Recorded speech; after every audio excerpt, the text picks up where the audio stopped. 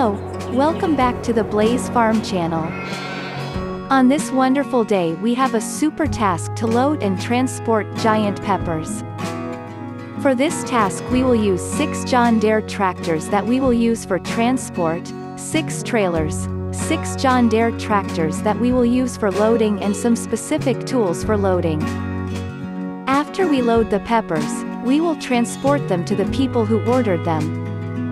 In the second part of the video we will load and transport lemons using John Deere and Fendt tractors.